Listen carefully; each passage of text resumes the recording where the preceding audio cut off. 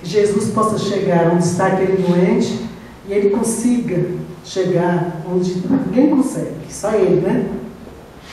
Que ele possa curar essa pessoa.